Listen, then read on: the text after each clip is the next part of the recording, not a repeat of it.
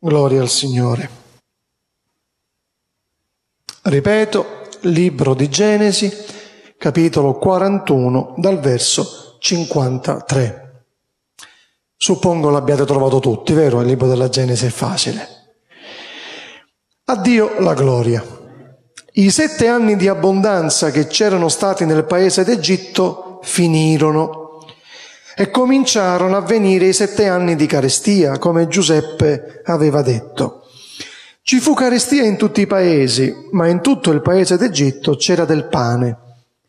Poi la carestia si estese a tutto il paese d'Egitto e il popolo gridò al faraone per avere del pane. Il faraone disse a tutti gli egiziani, andate da Giuseppe e fate quello che vi dirà. La carestia era su tutta la superficie del paese e Giuseppe aprì tutti i depositi e vendette grano agli egiziani. La carestia s'aggravò nel paese d'Egitto. Da tutti i paesi venivano in Egitto, da Giuseppe, per comprare grano, perché la carestia era grave su tutta la terra. Fin qui la parola di Dio. Non so se avete notato, ma abbiamo letto un testo che da alcuni giorni, da alcune settimane, Dio ha aperto davanti a noi. E il versetto 53 in qualche modo ehm, comincia con una, con una precisazione con una precisazione.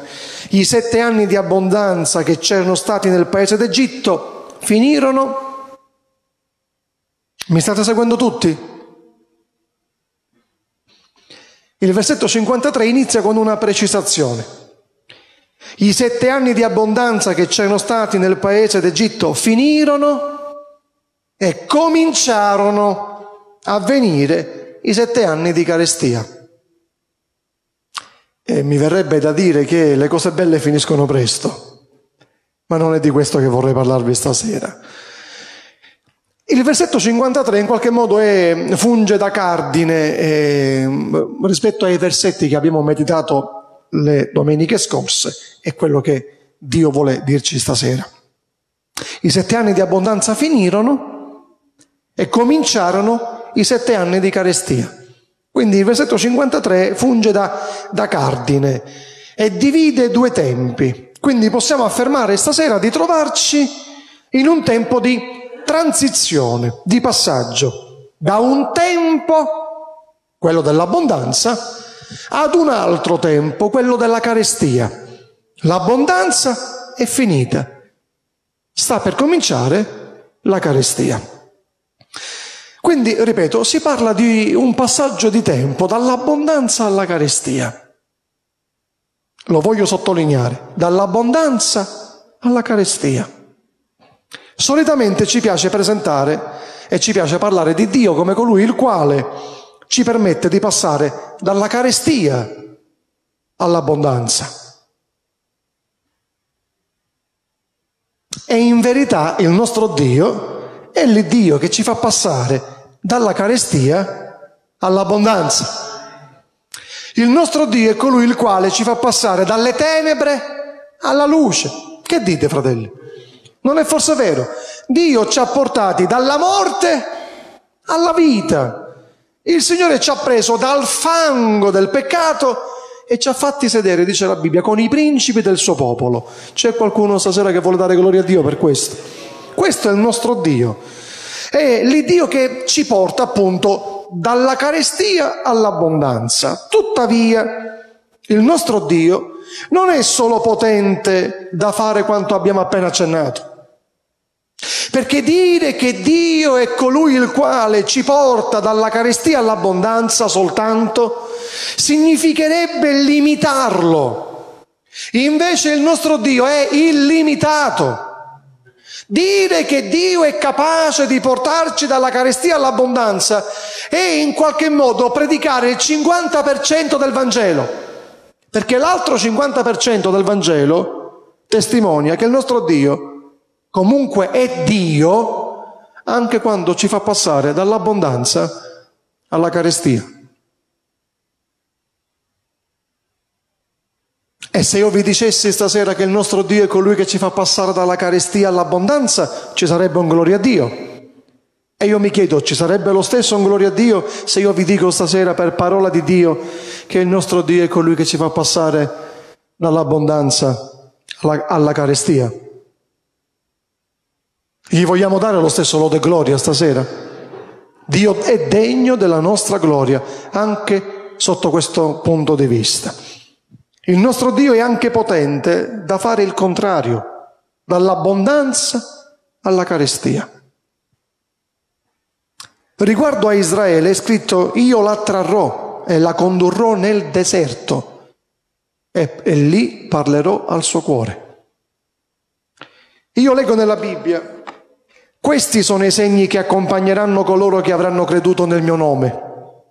Scacceranno i demoni, parleranno in lingue nuove, sentite, prenderanno in mano i serpenti e anche se berranno qualche veleno non ne avranno alcun male, imporranno le mani agli infermi ed essi guariranno. Ma io leggo nella Bibbia anche il contrario. Allora il Signore mandò tra il popolo dei serpenti velenosi, i quali mordevano la gente e gran numero di israeliti morirono. Leggo nella Bibbia quando i principi dei Filistei, i Cananei, gli Sidoni, gli Ivei insorsero contro Israele, Israele gridò al Signore e il Signore li liberò. Ma leggo nella Bibbia anche il contrario. Ecco, io sto per suscitare i Caldei, popolo crudele e impetuoso che si impadronirà di Israele. Mi state seguendo? Dio è colui che ci fa passare dalla carestia all'abbondanza, ma il nostro Dio è anche colui che permette alle volte il farci passare dall'abbondanza alla carestia. Ma torniamo al nostro testo, anzi, prima di tornarci, posso leggervi un altro versetto? Tu, dice Giona, tu mi hai gettato nell'abisso, nel cuore del mare. Posso farvi una domanda? Chi ha dato ordine al pesce di ingoiare Giona? Dio.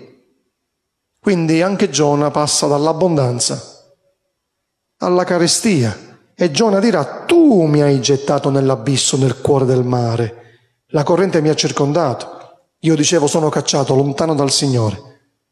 Allora, fratelli, adesso possiamo tornare al nostro testo un attimino, per ricordare alcune poche verità i sette anni di abbondanza finirono e cominciarono a venire i sette anni di carestia, come Giuseppe aveva detto. E qui c'è la prima verità. Sì, perché passare dall'abbondanza alla carestia non è una sorpresa. Per i credenti dovrebbe essere qualcosa che già il Signore ci ha detto. Perché a noi Dio ha detto nel mondo avrete tribolazioni, ma fatevi animo, io ho vinto il mondo. Il Signore ce l'ha detto, così come Giuseppe aveva annunciato che ci sarebbe stata l'abbondanza, ma poi la carestia, così pure a noi Gesù ci ha detto che sarebbe stato con noi tutti i giorni. E questa è abbondanza. Ma pure a noi Gesù ci ha detto, vi maltratteranno, sarete soli, perseguitati o maltrattati a causa del mio nome. Dio ci ha avvisati. E stasera Dio in qualche modo ci vuole avvisare che si può passare dall'abbondanza alla carestia e questo non deve stonarci. Questo non deve renderci confusi. Fratelli, voi mi perdonate, io voglio essere molto schietto stasera. Il fratello che ha pregato ha detto, Signore, donagli franchezza. State pregando che Dio me la, da, me la dia. Ma fratelli, il nostro Dio è Dio quando ci libera, ma il nostro Dio rimane Dio anche quando permette la carestia. E nella carestia non vogliamo essere confusi, costernati, come se non avessimo mai conosciuto il Signore, come se Dio fosse l'Iddio dell'abbondanza soltanto. No, è anche l'Iddio della carestia. È l'Iddio della salute, ma è anche l'Iddio che permette la malattia. È l'Iddio della vita, ma è anche l'Iddio che alle volte toglie e porta con sé. O no? Quanti cari nella chiesa di Prizzi il Signore ha raccolto tra le sue braccia e se li ha portati in paradiso eh, a riposarsi. Perché questo è il nostro Dio, fratelli, è l'Iddio dell'abbondanza, ma è anche l'Iddio della carestia e nessuno di noi rimanga confuso dinanzi a questa verità. Ci sono fratelli e sorelle che rimangono fedeli a Dio nell'abbondanza, ma si perdono nella carestia. C'è qualcuno stasera insieme a me che vuole chiedere a Dio, Signore, aiutami a rimanerti fedele nella carestia. Gesù ci ha avvisati Così come Giuseppe aveva detto. La carestia non fu, come dire, un evento eh, eh, improvvisato che li ha, li ha spiazzati. No, no, era tutto calcolato. Gesù ce l'ha detto che nel mondo avremmo avuto tribolazioni, prove, difficoltà. Però ci ha detto, e lo vedremo tra poco, che con lui possiamo superare pure la carestia. Che dite? Dio ci ha avvisati. La carestia sopraggiunse, così come Giuseppe aveva detto, ma non soltanto. Spesso nella carestia, ripeto, ci confondiamo. Al capitolo 42 io leggo, Giacobbe seppe che c'era del grano in Egitto e allora disse ai suoi figli, perché state a guardarvi l'uno all'altro? Perché spesso la carestia, fratelli, confonde la Chiesa del Signore. I figli di Giacobbe si guardavano l'uno all'altro e, che si fa adesso? Dove si va? Dov'è il cibo? Giacobbe dice, ma perché vi state a guardare l'uno all'altro? Correte in Egitto perché lì c'è il pane. Spesso nelle mie, nelle vostre carestie rimaniamo confusi, come se non avessimo mai conosciuto il Signore. Invece noi sappiamo stasera che Dio è per noi un rifugio ed una forza è un aiuto sempre pronto nelle difficoltà e spesso si grida alle persone sbagliate. Infatti ci fu una grande carestia in tutto il paese e la gente disse al faraone, è scritto poi la carestia si estese su tutto il paese d'Egitto e il popolo gridò al faraone per avere del pane, ma il faraone disse andate da Giuseppe e fate tutto quello che vi dirà. Spesso nella carestia non soltanto ci confondiamo, ma spesso nella carestia ci rivolgiamo pure alle persone sbagliate. Come se l'aiuto dovesse venire dagli uomini, il nostro aiuto viene dal Signore. E io quando ho letto queste parole del faraone, andate da Giuseppe e fate tutto quello che vi dirà, ho pensato a Maria. Vi ricordate a Maria, alle nozze di Cana? Quando gli dissero l'acqua, il vino è finito. E Gesù dirà, andate da lui e fate tutto quello che vi dirà. Signore, stasera nelle nostre carestie vogliamo continuare a rivolgerci al Signore. È vero, Dio l'ha permessa, è vero, Dio ci ha avvisato, ma gloria a Dio, perché nella carestia Giuseppe è con noi. Ma aspettavo un amen. Nella nostra carestia Giuseppe è con noi.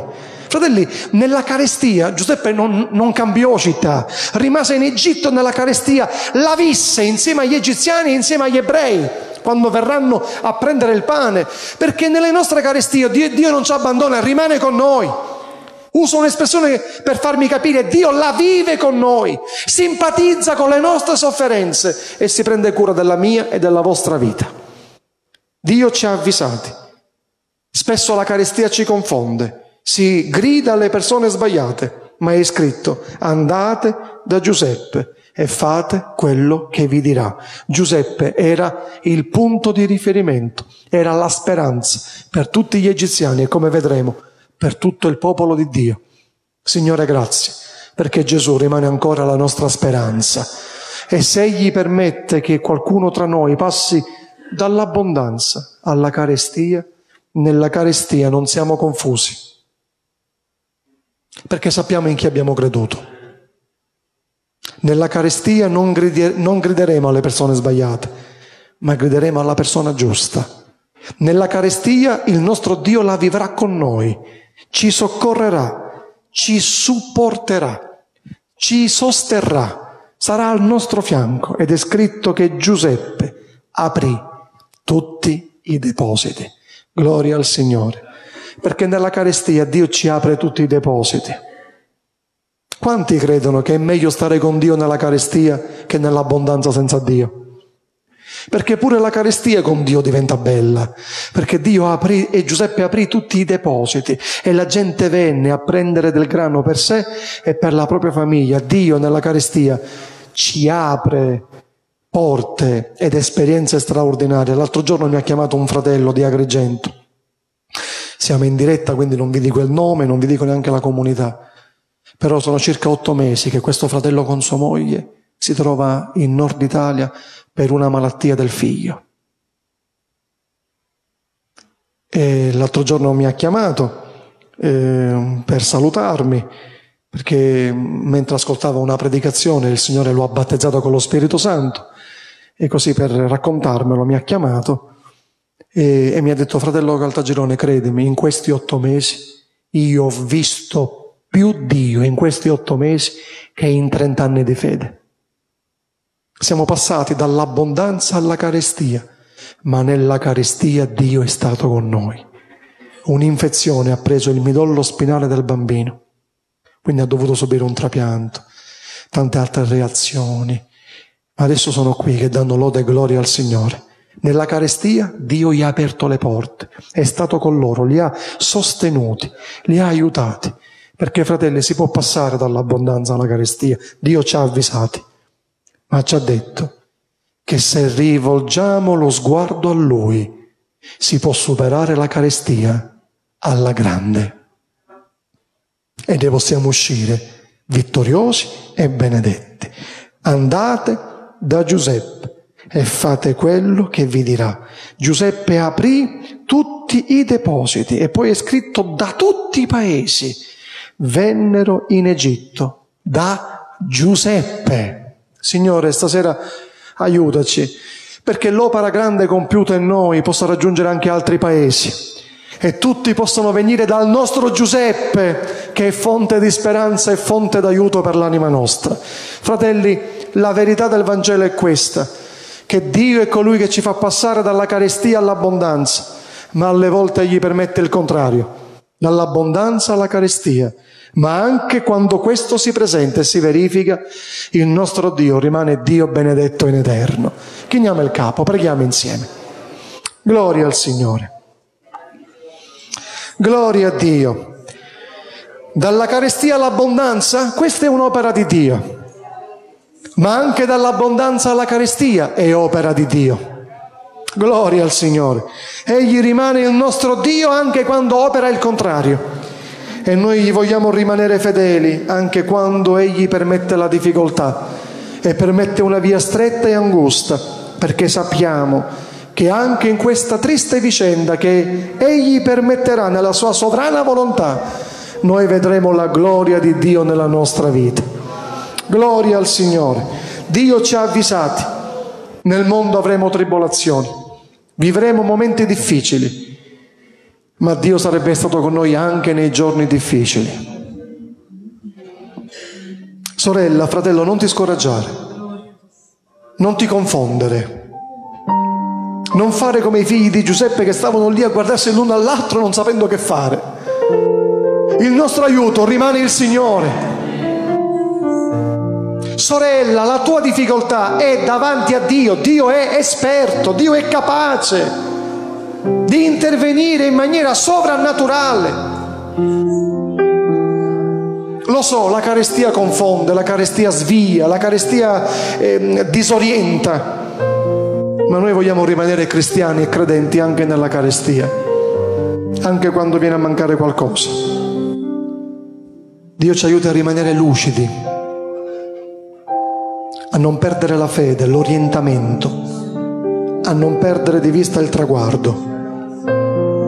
Il nostro Dio non ci ha detto che eh, non avremmo avuto mai problemi. No, anzi ci ha detto chi mi vuol seguire prenda ogni dì la sua croce e mi segua.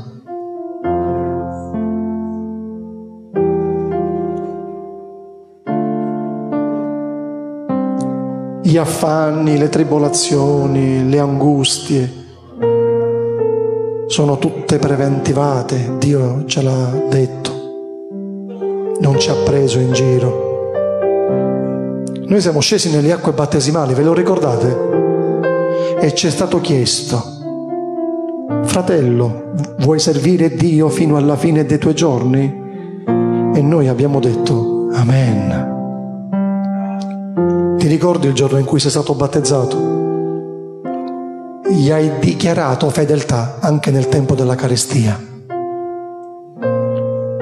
Nella carestia rivolgiti a Gesù, non perdere di vista la persona giusta grida alla persona giusta. la speranza è Gesù. E mentre ogni occhio è chiuso, ogni capo è chino, io stasera vorrei rivolgere una parola specifica a chi ha pensato che la carestia che sta vivendo è sinonimo di abbandono di Dio. E io voglio dirti stasera con tutto il mio cuore che ti stai sbagliando. Dio non ti ha abbandonato. Perché il nostro Dio è colui che dalla carestia ci porta nell'abbondanza, ma alle volte ci porta dall'abbondanza alla carestia, per provare la nostra fede, per esaminare la qualità della nostra esperienza, per fortificarci, per renderci migliori perché tutto torni alla sua lode e gloria e a nostro vantaggio. Vogliamo alzarci tutti in piedi e ringraziare Dio stasera. Gloria al Signore. Cantiamo insieme questo canto e poi qualcuno di voi innalzi una preghiera di ringraziamento al Signore. Gloria a Dio.